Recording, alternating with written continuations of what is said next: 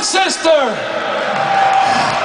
has heard that in Chile you have your own words for we're not going to take it.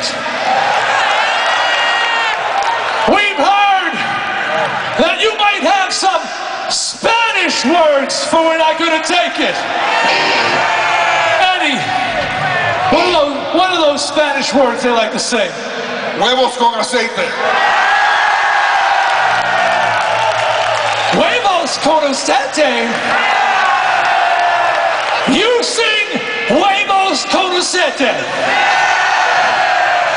Let me hear you sing huevos con aceite. Go!